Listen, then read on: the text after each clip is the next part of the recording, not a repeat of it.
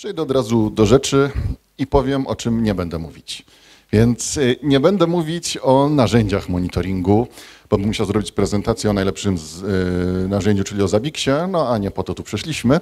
Także y, nie powiem wam, nie wskażę palcem, że to jest super, to jest badziewne, tego używacie, tego nie. Nie. Natomiast powiem wam o czym innym. Może nie do końca o dzieciach, ale właśnie rozmowa o dzieciach mnie natchnęła do zrobienia tej prezentacji w taki sposób, a nie inny. Otóż e, podejrzewam, że e, jakbyśmy teraz zaczęli rozmawiać na temat, jak zrobić dobry monitoring, no to każdy by miał swój pomysł na to, jak zrobić ten najlepszy monitoring. I tak samo jakbyśmy o dzieciach rozmawiali, gdybyśmy sobie zaczęli tu dyskutować, jak najlepiej wychować dziecko, nie zrobić dziecko, to byśmy mieli też wszyscy różne opinie. Natomiast jeśli by ktoś się zapytał, jak najgorzej wychować to dziecko, no to pewnie raczej byśmy się zgodzili e, na jakieś pewnych parę paradygmatów, które spowodowałyby, że to dziecko naprawdę będzie wychowane strasznie. I mam takie wrażenie, że z monitoringiem jest podobnie, że nie ma jednego sposobu, żeby zrobić dobry monitoring, ale jest jeden, no właściwie kilka sposobów, jak zrobić zły monitoring. Także po tym wstępie kilka słów o mnie. Kim jestem? Otóż e, zaczynałem u tak zwanego polskiego pracodawcy, u firm, firmie rodzinnej, nie swojej rodzinnej, a na szczęście, e, aczkolwiek e, w takim negatywnym tego słowa znaczeniu firma miała taki no, szef wiedział wszystko najlepiej, mimo że się nie znał w ogóle na IT, był sprzedawcą. Szefowa była od papierologii. I e, oczywiście ona najbardziej się znała na sprzedaży, on się znał najlepiej na papierologii. E, no i jeszcze e, sami stwierdzali, co ja mam robić z tym IT, więc odbierałem średnio raz na dwa tygodnie telefon na przykład od szefa, gdzie musiałem mu tłumaczyć, że jak maszyna nie jest podłączona do internetu, to się zdalnie nie połączy z tą maszyną. I to naprawdę jest autentyk, co dwa tygodnie. I, i to było straszne. Natomiast nauczyłem się tam wiele rzeczy, które do dzisiaj właściwie wykorzystuję. No sam się nauczyłem, bo od kogo miałem się nauczyć. E, później poszedłem w objęcia korporacji, gdzie mogłem poznać, co to znaczy właściwie dobrze przygotowana infrastruktura, źle przygotowana. I tak sobie przeszedłem przez kolejne e, organizacje. E, obecnie skończyłem, jak to moja znajoma mówi, w Nanocorpo, czyli w małej firmie Tenesys, no, jeśli wyznacznikiem korporacji jest używanie staku Atlassiana, to tak, to jesteśmy korporacją. Jeśli chodzi o ilość ludzi, to jeszcze nie. Widziałem rzeczy, który, o których się ludziom nie śniło. E, to a propos tego, co ja widziałem. E, widziałem, e, przeraziłem się, mam traumę. Stoję tutaj i walczę ze sobą, żeby tej traumy nie przywoływać i ufam, że przygarnąłem to wszystko na klatę i chcę wam przekazać tę wiedzę, żebyście wy też nie zostali straumatyzowani. Ale tak jak mówiłem, żeby nie było zbyt oczywiście, żeby nie było e, tak łatwo, postanowiłem, że te prezentacje zrobię tak do góry nogami, że będę podawał przykłady, jak zrobić najgorszy monitoring, jaki można sobie wyobrazić. E, oczywiście postaram się to jakoś ładnie dalej przestawić, bo mógłbym wypisać od myślników, rozdać wam kartki, byśmy przeszli do pizzy, e, ale nie o to chodzi. E, także ubrałem to mniej więcej w taki schemat. Będzie miejsce na pouczenie, jakiś paradygmat, krótkie uzasadnienie, będzie piktogram, który ma przyciągnąć uwagę i potem wrócę na moment do takiego czegoś z życia wziętego. Także mam nadzieję, że tu nie dostanę rozdwojenia jaźni, ja też, i e, jakoś to razem przetrwamy. Także e, rozpocznijmy jeszcze raz. E, po co komu monitoring właściwie? No, mi to się nie przyda. Nie będziemy zbierać danych, bo wiadomo, że mi się wszystko wydaje. Ja wiem wszystko najlepiej i po co ten po, po, co w ogóle monitorować? Co kosztuje? Jeśli wszystko działa, no to po co mi support? Jeśli nic nie działa, no to po co mi support? No to po co mi w ogóle support? E, jeśli mam coś e, powiedzieć z życia, e, teraz już coś poważnego, to nie, miałem kiedyś klienta, który właściwie nie wiedział, że powinien sobie monitorować serwisy monitorował VM-ki, natomiast URLE, które, przez które był dostęp do jego maszyn, właściwie do jego APEK, no w ogóle nie były monitorowane. I dowiadywał się, że coś się wywaliło, bo na OTRS zaczął, zaczął przychodzić spam od klientów tych końcowych, że hej, nie działa, zróbcie coś. No i tak wyglądał monitoring, więc trzeba było, trzeba było coś z tym zrobić, no i zacząć monitorować. Hello. Moim, otóż to, e, moim ulubionym, ulubionym może nie, ale czymś, co ostatnio usłyszałem, e, to było stwierdzenie, że danymi można manipulować, więc w sumie nie ma sensu zbierać danych. I e, na początku się bardzo zbulwersowałem, bo ja zawsze twierdzę, że jeśli czegoś nie można podać, opisać liczbą, no to nie wiemy, co my z tym robimy i nie wiemy, czy coś poprawiamy, czy coś psujemy. Ale ostatnie dni właściwie y, mnie natchnęły a propos tych danych, bo w poniedziałek można było się, w zależności od tego, którą telewizję się ogląda, można było y, zobaczyć, że strajkuje 44% y, szkół w Polsce albo 76% szkół w Polsce. I właściwie skąd ta rozbieżność? Jak się później okazało, jedna telewizja mówiła, podawała procent wszystkich szkół w Polsce, nie tylko państwowych, ale też prywatnych, e, społecznych i tak dalej. I wtedy faktycznie było 44%. Natomiast druga telewizja podawała procent szkół państwowych, które strajkowały i wtedy faktycznie było 76%. Także e, to też e, mi dało do myślenia, że faktycznie Dane oczywiście trzeba zbierać, trzeba jak najwięcej tych danych zbierać, trzeba z nich korzystać, ale też trzeba wiedzieć, co się zbiera i jak je interpretować, bo jeśli wymyślimy sobie jakąś korelację, no to pewnie sami wiecie, że można skorelować dwie zupełnie niepodobne do siebie rzeczy. Także jednak zbieraj dane. Staraj się mieć jak najwięcej triggerów, bo wiadomo, trigger, alarm na wszystko, absolutnie. Musi być e, trigger na każdą, e, każdą rzecz i o różnym stopniu ważności. Najlepiej, żeby zawsze telefon dzwonił, nie? no bo jak ktoś nie może stworzyć jednego pliku, czy ten plik sam nie powstał, no to obudźmy kogoś.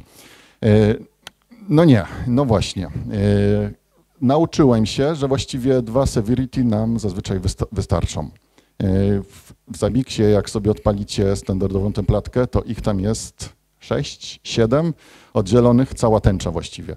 E, natomiast e, suma summarum okazuje się, że jeśli coś jest naprawdę ważnego, to powinno zadzwonić, a jeśli coś nie jest aż tak palące, no to ten, to ten ticket wystarczy i może ktoś się tym zajmie jutro, nie zapali się, e, nie będzie pożaru z tego powodu. No chyba, że masz faktycznie źle system skonstruowany, to wtedy trzeba uważać. Jeśli alarm jest nieprawidłowy, zostaw go. Przecież ktoś się tym zajmie. Czemu ja? Dlaczego nie on? Przecież on to przygotowywał. E, poza tym samo zejdzie. Nie? No dzisiaj jest piątek wieczorem, no to oczywiście, że tak, to będzie się świecić parę godzin, zejdzie. I to właśnie, musi zostać i nie mamy wpływu. Takie teksty to słyszałem bardzo często. E, w zależności od tego, gdzie pracowałem, to było częściej lub rzadziej, ale zawsze się pojawiały. E, dobrze, wtrącę coś życiowego. E, otóż e, prawda jest taka, że jeśli ty zobaczysz ten alarm i, się, i stwierdzisz, że jest nieprawidłowy, no to musisz go poprawić, bo każdy, kto go zobaczy, pomyśli, że e, ktoś inny się tym zajmie. I e, jeśli ty tego nie poprawisz, to nikt tego nie poprawi. I to jest taka prawda życiowa, bo jeśli ktoś gdzieś się na ulicy przewróci, no to wszyscy widzący stwierdzą, że a, czemu ja mam mu pomóc? Ale jak będzie tylko jedna osoba i druga osoba się przewróci, to na pewno będzie, będzie ta osoba przewracająca się mieć pomoc. Także y, musimy sobie po prostu zdać z tego sprawę, że no, każdy z nas ma wpływ i każdy z nas powinien się zająć czymś, E, a nie zostawiać to e, komuś innemu, a już najlepiej, a już e, najlepiej jakby rozwiązać ten problem, bo czasem problem wystarczy zasygnalizować i się tym zająć wspólnie. Jeśli ma się rozwiązanie, super, ale jeśli się nie ma, to i tak warto o tym wspomnieć. Jedno z moich ulubionych. Używaj jak najwięcej narzędzi. Absolutnie do każdej rzeczy potrzebujesz osobne narzędzie. Zabix, Nagios, Bosun, co tam dalej jest, Alerta, Datadog, SaltStack i tak dalej, i tak dalej. Pracowałem kiedyś w organizacji, która używała do monitoringu 16 narzędzi. Naprawdę. I nikt naprawdę nie wiedział, kiedy coś nie działa. To znaczy, jak klient y, pisał czy dzwonił, że nie działa, to wtedy na pewno było wiadomo, że nie działa. Ale czasem wyjeżdżał jakiś alarm krytyczny i nie, nie, nie, wszystko działa. Czasem wyjeżdżał ten sam alarm krytyczny i nie, nie działało. Nikt nie wiedział dlaczego. Y, można powiedzieć, że każde z tych narzędzi było wykorzystywane tak jakoś, nie wiem, pomocniczo sprawdzę tu, sprawdzę tam i, de facto zamiast się logować na te kilkaset wiemek, trzeba było się przeklikać przez kilka narzędzi. E, nie wiem, jak się skończyło, czy w końcu zostało to ograniczone, ale też warto wziąć pod uwagę, że e, im mniej narzędzi, tym lepiej. Najlepiej jest mieć wszystko w jednym miejscu. Oczywiście pojawiają się wtedy różne stwory typu single point of failure, że e, jeśli mamy jedno narzędzie i ono się wywali, no to faktycznie mamy problem, ale to trzeba zrobić to narzędzie najlepiej w HA, tak żeby się nie przewróciło, bo mimo wszystko e, wydaje się, że większym problemem jest za dużo narzędzi, które są niewydolne i nie działające prawidłowo, niż jedno, które potencjalnie może kiedyś się przewrócić. A najczęściej tak to się nie wydarzy.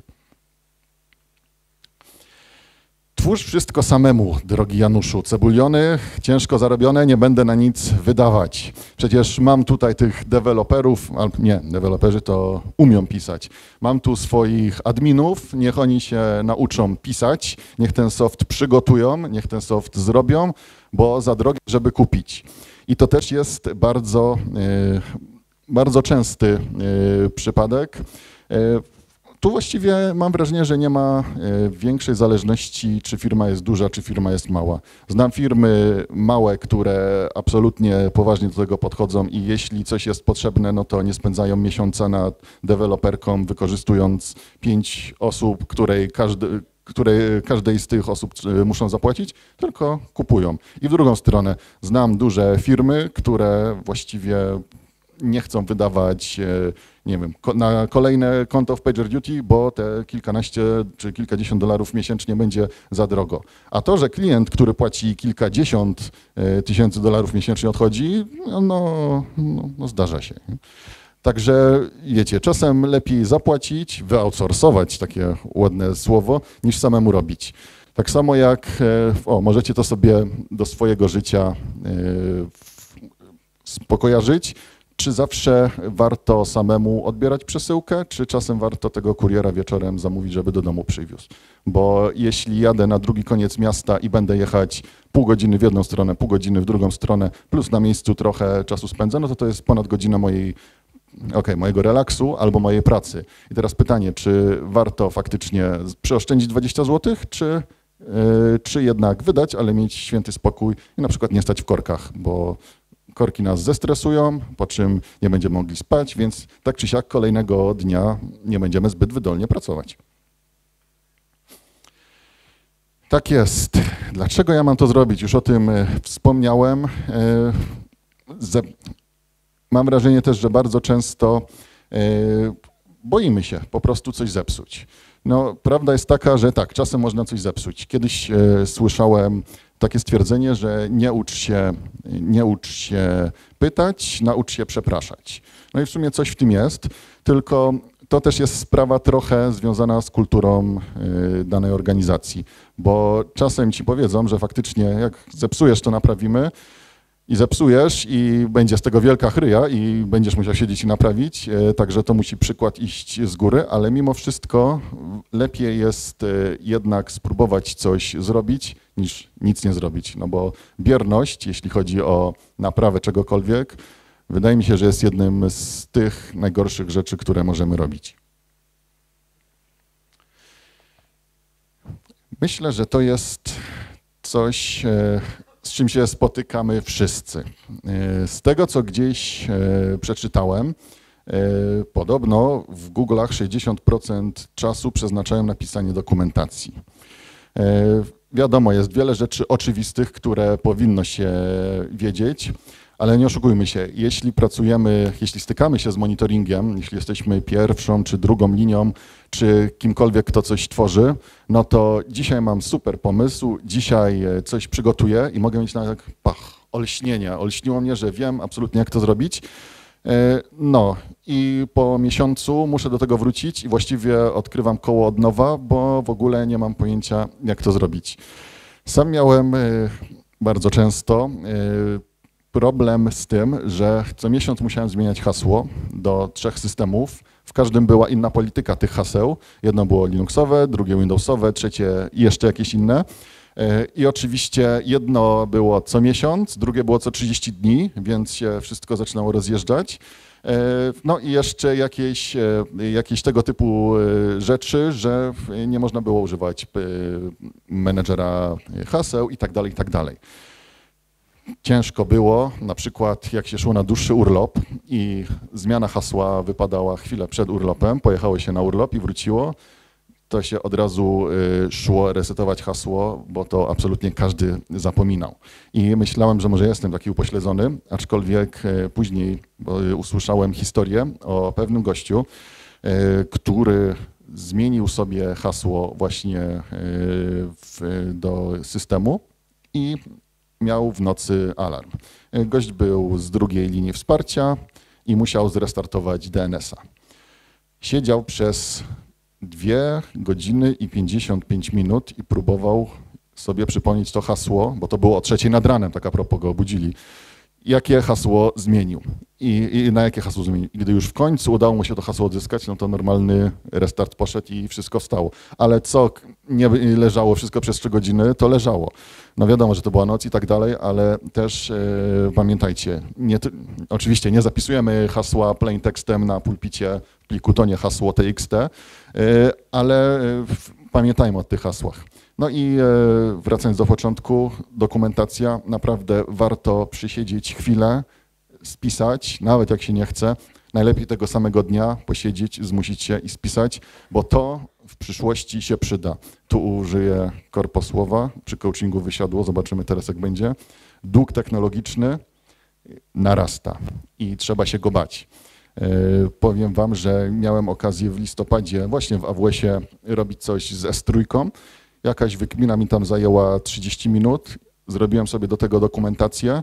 W ogóle nie pamiętałem, co tam zrobiłem, ale dzięki tej dokumentacji, jak klient miesiąc temu, czyli po, po pół roku mnie poprosił, żeby coś tam dalej wydziergać, spojrzałem, aha, właściwie tylko jedno słówko trzeba było zmienić, pach, koniec. A tak jakbym musiał nad tym przysiedzieć od początku i wymyślić koło od nowa, siedziałbym dłużej. Jeśli masz kontakt z klientem, to pamiętaj, że on ci odpisze. Te etykiety narastające w Jirze czy w OTRS-ie, no to one, one tam są, muszą być, te kilkaset tiketów. E, nie trzeba przypominać, bo na pewno sam będzie pamiętać. No i oczywiście sami zamkną zgłoszenie. Z czymś takim można się spotkać e, aż nader często. Natomiast jest bardzo fajna metoda, żeby u siebie na podwórku trochę posprzątać. No bo e, jeśli chcemy e, klienta jeszcze pomęczyć i spytać, czy aby na pewno działa, no to może się, nie daj Boże, jakaś dalsza dyskusja wywiązać. Aczkolwiek ja stosuję bardzo prostą metodę. Zamykam zgłoszenie i proszę napisać, jeśli nie działa, albo jeśli są dalsze pytania. Nauczyłem się tego dosyć niedawno, bo naprawdę dosyć długo e, walczyłem ze sobą i z klientami, ale to jest zaskakująca metoda. To jest takie proste, że aż nie chce się w to uwierzyć, ale działa. Zamknąłem pięć tiketów i żaden z klientów nie odpisał, czyli wszystko działało.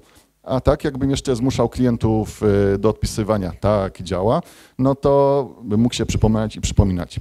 Aczkolwiek to trzeba też zawsze ze sobą, y, ze sobą porozmawiać i się zastanowić, czy faktycznie, y, czy co chcemy robić, bo czasem jest sprawa jak z pisaniem maili, nie? czy ja na maila mam odpowiedzieć tak, tak, czasem tak, ale czy odpowiedzieć dziękuję, Zawsze warto odpowiedzieć dziękuję, ale czy to jest jedyny mail, który ten y, ktoś ode mnie odbierze, czy on odbierze takich maili setki czy tysiące i faktycznie to, y, to gdzieś przepadnie w odmętach internetu. Nie informuj swoich dyżurnych o zasadach. O tak, ile razy z czymś takim się spotykaliśmy. Miałem kiedyś e, przyjemność wątpliwą wielokrotnie dzwonić do tego samego dyżurnego, który zawsze odbierał pytaniem, dlaczego do mnie dzwonisz. Nikomu innemu to nie przeszkadzało, ale on twierdził, że w godzinach pracy do niego się nie dzwoni. Mimo, że był na liście kontaktów, na liście eskalacyjnej. No i co zrobisz? Nie? Potem posmęcił, posmęcił i się czymś zajął.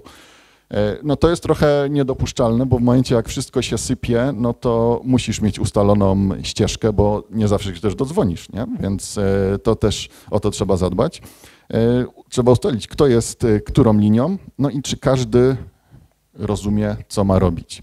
Bo też prawda jest taka, że no, my jako powiedzmy, że nie kadra zarządzająca, też nie na wszystko mamy wpływ, więc y, warto się też zastanowić, czy również ci, co są nad nami, rozumieją, z czym jest problem i czy coś chcą z tym zrobić. No bo też jeśli góra nie będzie chciała czegoś naprawić, no to my możemy próbować przez wieki i do niczego, y, do niczego nie dojdzie.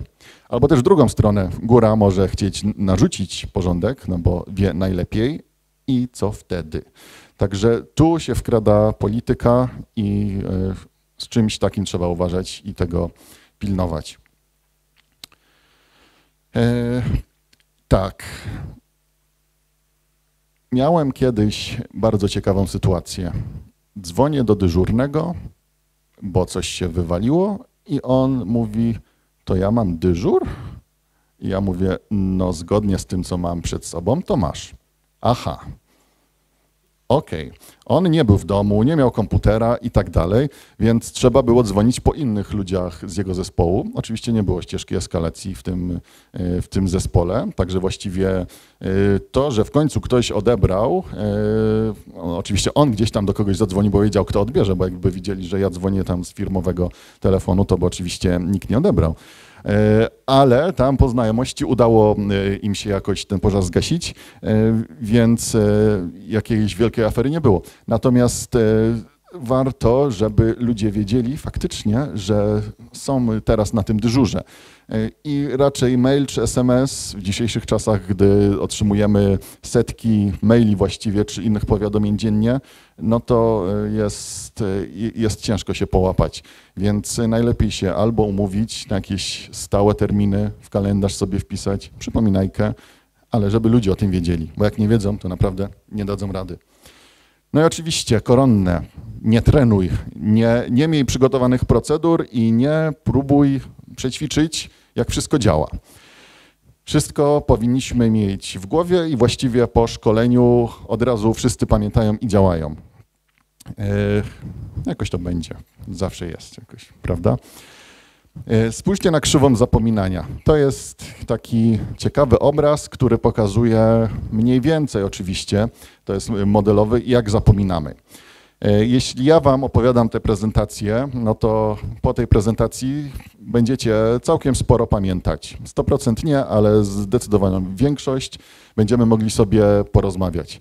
Natomiast e, jak pójdziecie do domu, no to już zacznie ta wiedza odparowywać. Jutro rano będzie pewnie tej wiedzy tak jedna trzecia. Mm, za tydzień, no tak widzicie, asymptotycznie dąży do zera. E, są metody, żeby coś takiego e, opanować i te metody to się nazywają powtarzanie. Powtarzanie, powtarzanie i powtarzanie.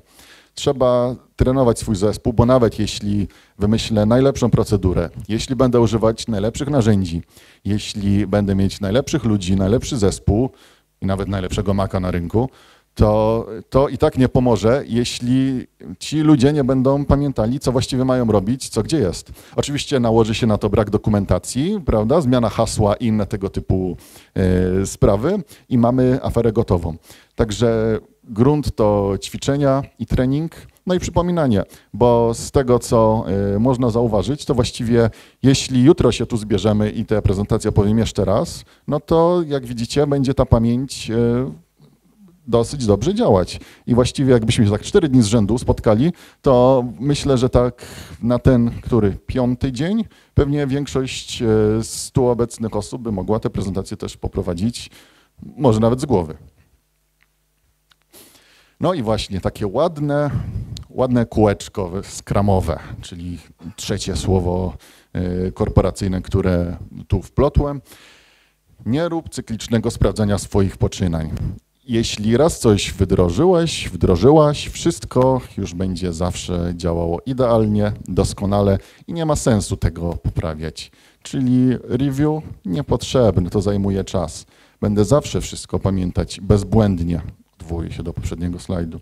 I klient oczywiście zawsze będzie potrzebować dokładnie tego samego i zawsze będzie mieć swoje potrzeby, będzie je znać i będzie mieć je niezmienne. No, nie wiem, nie wiem, czy wy macie takie y, podobne przemyślenia, ale pewnie jak przyznacie mi rację, że co jak co, ale IT się rozwija szybko. To, co dzisiaj jest nowoczesne, jutro będzie przestarzałe. Y, wczoraj wiemki były na topie, dzisiaj mówimy o serverlessie, a jutro pewnie serverless będzie przestarzały i będzie trzeba się na coś nowego y, przestawić.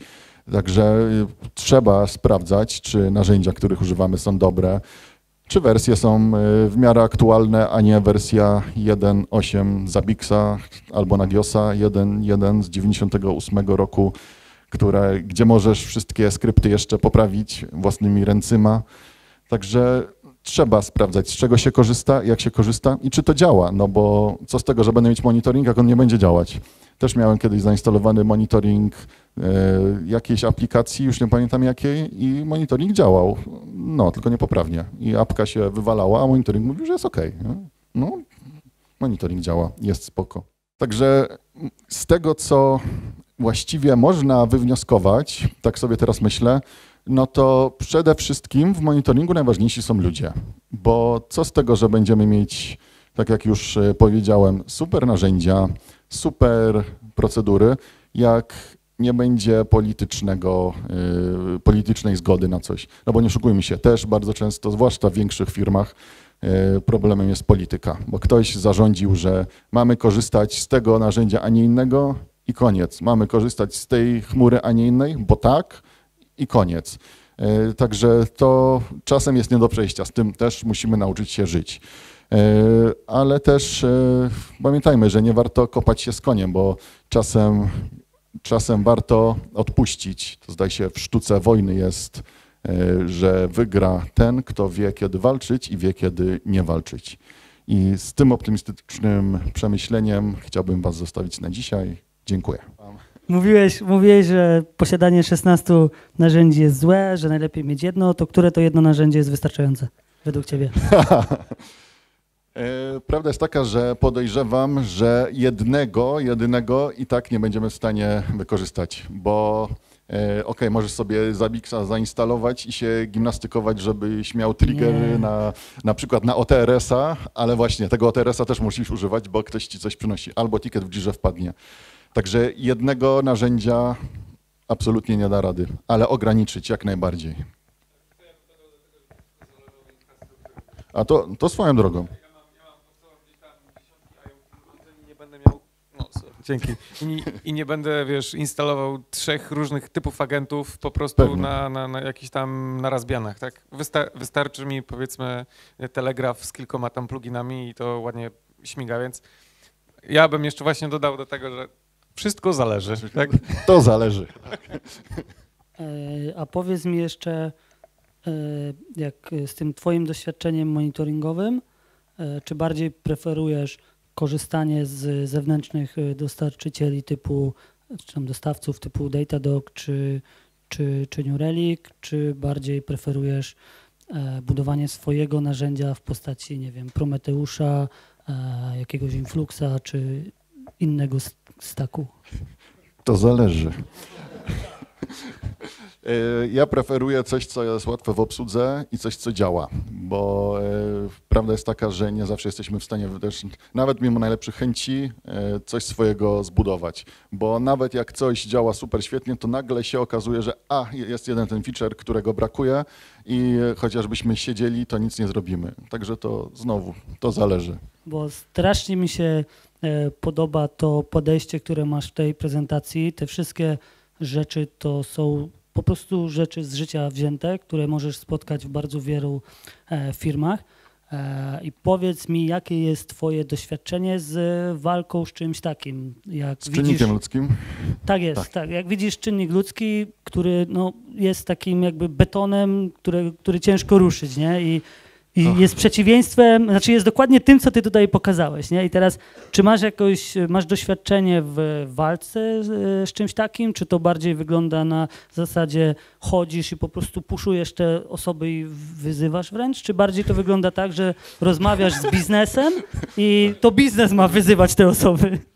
E, Może zacznę od końca. Co do biznesu, to e, ja zauważyłem, że warto jak najpóźniej ten biznes dotykać, bo rzadko się e, zdarzy takie stworzenie, które będzie zarówno ogarnięte biznesowo, jak i technicznie.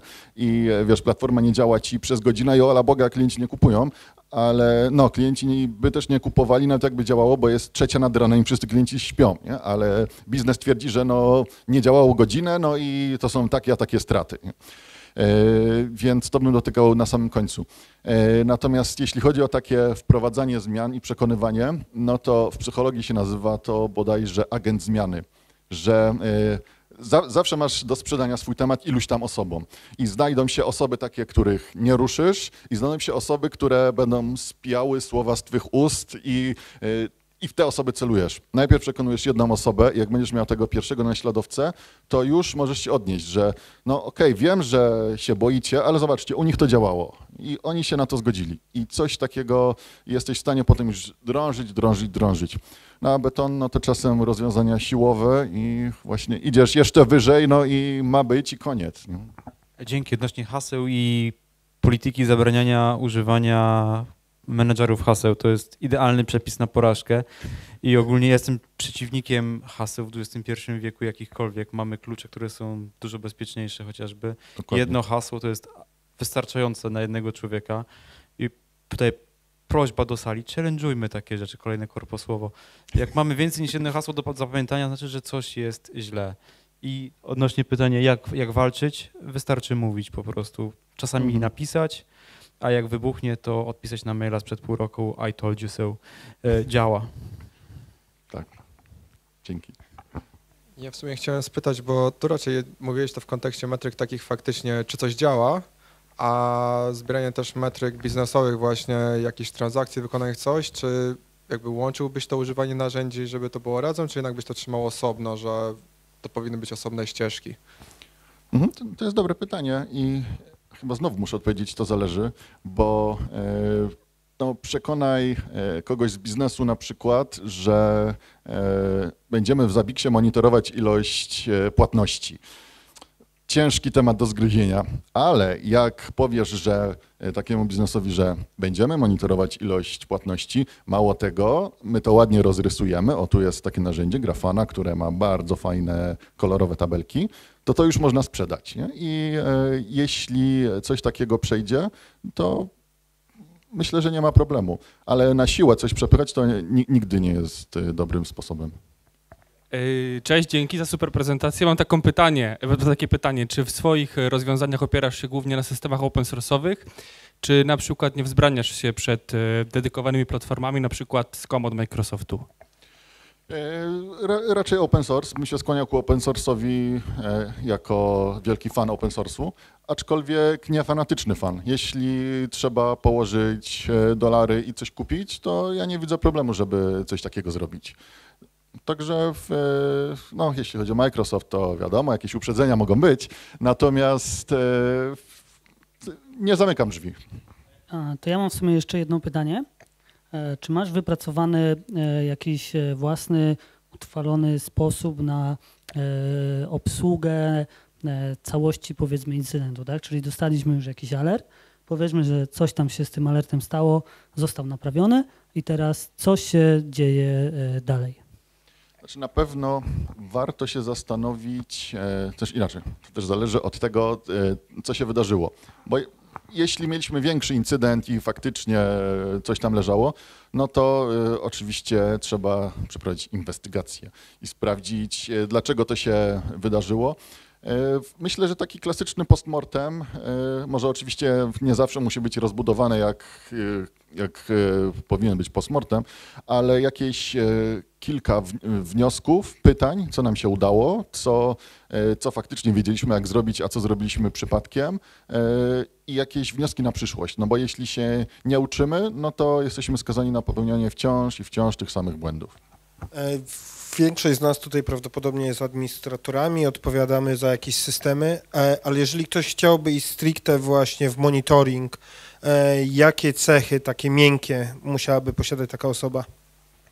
Na pewno nie może się bać mówić swojego zdania, bo często pojawia ci się jakiś e, alarm, który może komuś niewiele mówić, ale ty słyszałeś, że to może wywalić całą platformę i nie czekasz na to, aż ta platforma się złoży, tylko faktycznie, e, tylko faktycznie działasz. Więc myślę, że e, o, tak samo jak e, jakiś QA, który musi umieć rozmawiać z deweloperami, tak samo mi się wydaje, że osoba monitorująca musi umieć rozmawiać właściwie ze wszystkimi i czasem przepychać swoje racje i być, być słyszana. Także to jest taka podstawowa cecha. No a kolejne to są jakieś klasyki typu komunikatywność, bo jeśli ktoś będzie faktycznie nerdem, który zbyt często nie rozmawia, no to e, ciężko mu będzie się dogadać e, z kimś, kto nie jest nerdem, bo z nerdem się zawsze dogada. Ale z, ale z cywilem to już będzie, będzie mu trochę gorzej szło. Nie? Także e, taki, takie bardziej rzeczy, no może nawet sprzedażowe techniki różne można by stosować, bo jakby nie patrzeć, też sprzedajesz swego rodzaju produkt. To jeszcze nawiążę do tego rozwijania się. Czy masz jakąś po prostu książkę, stronę internetową, serię postów, cokolwiek, co byś faktycznie wskazał, że tak, to jest dobrze usystematyzowana wiedza? E, takiej jednej e, nie mam, natomiast e, często korzystam z książki Google'a o OSRE, która jest dostępna za darmo w internecie plus y, oczywiście jakieś ciekawostki z monitoramy, czyli tam z ogólnostorocznej, y, chyba nawet już jest kilka monitoram, y, konferencji, które się odbywają czy to w Stanach, czy to w Japonii. No i przede wszystkim Stack Overflow i te, tego typu klimaty, ale to są rzeczy oczywiste. E, no, wszystko oczywiście jest zależne od tego, co chcesz monitorować e, i, i na, jaką, na jaką skalę. No bo jak masz jedną, jednego fizyka do monitorowania, no to nie będziesz całego SRE do tego zaprzęgać. Mam pytanie odnośnie tego, tu, tu, tu, tu jestem, tutaj. E, czy preferujesz e, dashboard z dedykowanym ekranem, czy raczej są to notyfikacje na maila, e, SMS-y, czy to i to? Myślę, że to zale zależy. Jak, jest, okay. jak, jestem na dyżurze, to preferuję, e, preferuję jednak telefon. E, natomiast jak pracuję i tworzę coś nowego, no to ten dashboard przed oczami warto mieć otwarty, e, żeby na bieżąco widzieć, czy czy alarmy się chociażby pojawiają. Jak robisz nowy monitoring, no to chcesz wiedzieć od razu, czy to, e, czy to działa. Także czekając na telefon, no to byś czekał i czekał, a jak masz dashboard otwarty, to od razu wszystko wiesz. To, to mam kolejne pytanie w związku z tym. Jeżeli dashboard to jest dedykowany ekran z, z jakimś kompem, z Raspberrym, whatever, czy, czy jest to jednak e, na Twoim stanowisku drugi monitor, który masz odpalony dashboard? E, to, to zazwyczaj tak, to, to już drugi monitor, bo jednak Alt-Tab by, by tu człowieka zajechał, a w momencie jak masz dashboard odpalony gdzieś tam z boczku, no to to od razu lepiej widać. W prezentacji wspomniałeś taki case, że zawiesiła się usługa DNS-a, tak? Ktoś tam zapomniał hasła i powiedzmy trzy godziny później to zrestartował. E, moim zdaniem z monitoringiem nieodzownie łączy się automatyzacja. Czy w swoich rozwiązaniach robisz coś takiego, że na przykład gdy dana usługa się zatrzyma, nie wiem, zapełni się dysk, e, to dla danego alertu e, wywołuje się akcja, twój system nauczony, tak, automatyzacji podejmuje jakieś akcje i w przypadku, gdy on sobie nie jest w stanie tym, z tym, tym poradzić, dopiero to eskaluje do, do dyżurnego, do jakiejś grupy wsparcia i tak dalej. Czy w ten sposób robisz swój monitoring, czy tylko się skupiasz na tym, żeby wypluć notyfikacje, alerty i niech się ludzie tym zajmują i przejmują? Powiem szczerze, że nic mnie bardziej nie irytuje, jak w nocy mi dzwoni telefon i właśnie okazuje się, że trzeba coś, że wystarczy coś zrestartować, e, wyczyścić dysk, coś, co można by absurdalnie prosty sposób zautomatyzować. Także y, tu mi się też wydaje, że automatyzacja to jest, myślę, że kolejne bardzo popularne i trendy hasło i y, w- tę automatyzację też idę. E, Czy to teraz wdrażamy AWX-a chociażby, który, któ- który też może wykonywać restarty w bardzo prosty sposób. Trzeba, trzeba po prostu to zautomatyzować, bo od, jeśli nie będziesz automatyzować, no to też nie podniesiesz swojego SLA. Bo jeśli masz dwie czy trzy dziewiątki, no to jesteś w stanie z ludźmi to w jakiś sposób ogarnąć. Ale jeśli masz pięć dziewiątek, czyli jeśli dobrze pamiętam, to jest półtorej minuty niedostępności w ciągu roku, no to przy użyciu y, człowieków tego nie jesteś w stanie e, stworzyć. To musisz mieć ten e, mechanizm białkowy zastąpić jednak kawałkiem kwarcu czy kubitami i wtedy to w jakiś normalny sposób działa.